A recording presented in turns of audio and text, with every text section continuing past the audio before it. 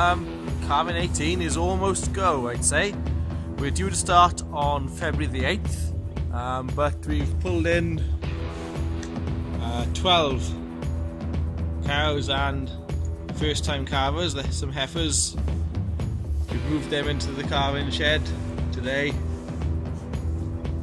because they're at the point of calving. Um, don't want them calving in cubicle sheds, so the cubicle barns I should say. So hopefully being down in here now, they'll all pop them out nice and easy in nice clean straw.